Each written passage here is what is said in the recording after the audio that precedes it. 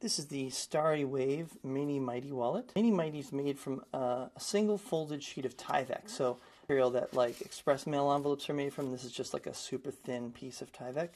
But you can see it's like, you know, virtually impossible to rip.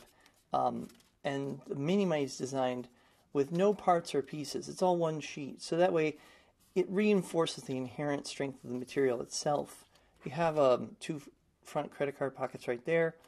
And then the back pocket, pocket sits at a slight angle. So you can see here in the back that makes your card a little easier to grab when you're on the go. The little side compartments can be for you know storing a business card or two. And then the main cash area, uh, recommend putting your folded currency in one side of the fold, and then if you want to put some more on the other side, then super strong. It's a great front pocket wallet.